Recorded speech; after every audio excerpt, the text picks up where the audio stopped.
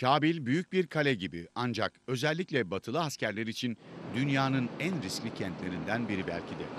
Taliban'ın varlığını besleyen öfke ve tepki kent sokaklarına hakim. Vaktiki mardım Afganistan. Yabancılar Afganistan'da barış sağlayamaz. Kendi başlarına hareket ediyorlar, evleri bombalıyorlar. Amerikalılar ve İngilizler Afganistan'ı kurtaramayacaklarsa niye geldiler? Koalisyon güçleri halkın büyük çoğunluğunun gözünde düşman. Askeri üslerde güvenlik en üst seviyede.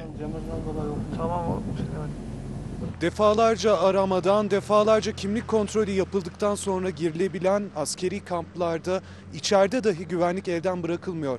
Örneğin arkamda Portekizlerin yaşam alanı olan bir kamp var. Burası Warehouse denen daha büyük bir kampın içinde, çok sıkı korunan bir kampın içinde. Ancak görüyorsunuz siz de adeta bir korugan havasında. Yabancı askerler de güvenlik endişelerini saklamıyor. Heavy security. Can you just wander around in a marketplace? We can't really just wander around freely. We don't have great freedom of movement. Uh, the situation uh, in uh, Güvenlik önlemlerine uymamız lazım. Şunu uh, bilmelisiniz. Her zaman her yerde olabilir.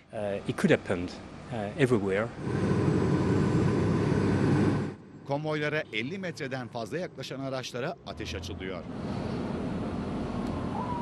Kabil'deki yoğun güvenlik önlemleri gündelik hayatı da derinden etkiliyor aslında. Zira her ana caddenin her sokağın ucunda kontrol noktası var. Bu da trafikte ciddi aksamalara neden oluyor. Şu anda da Kabil'in önemli caddelerinden birinin üzerindeyiz ve buradaki trafik 20 dakikadır 1 metre dahi akmadı.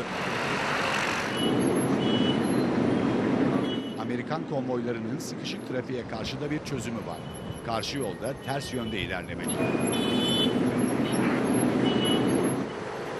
9 yıldır savaşın gölgesinde yaşayan Kabil'de gündelik hayatın normale dönmesi zaman alacak gibi gözüküyor.